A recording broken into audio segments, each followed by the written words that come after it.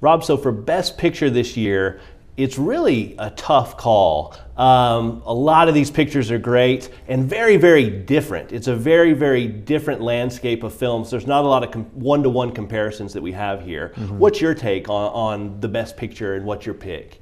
I think it is a two horse race uh, at this point. La La Land obviously had a lot of uh, momentum coming out of the Golden Globes.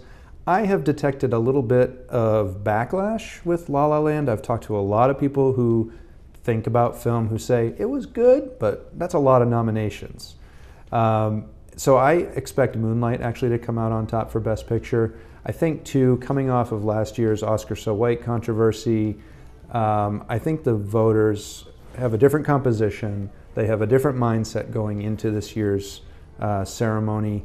I would expect Moonlight to come out on top. I'm with you 100%. I, I, I gauge it the exact same way you do. You know, La La Land looks like it could be this big monumental achievement 14 mm-hmm. uh, nominations, which is a record, or mm-hmm. ties a record. Mm-hmm. And, you know, you just feel like, you know, uh, not everything's going to be there for it. It's going to win a lot of technical categories, mm-hmm. um, but I just don't see it winning Best Picture. Like you said, the Oscar so white controversy really, you know, makes it a little more.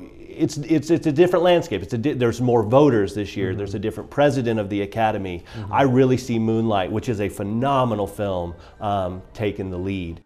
Are there any other films on the list that you feel strongly about? Well, I loved Arrival. I, I, I think it's got the best combination I've seen in a while of sort of headiness, you know, ambition in terms of theme uh, and so forth, but it's a genre film, yeah. so it's fun. Absolutely. It's going to be good to see.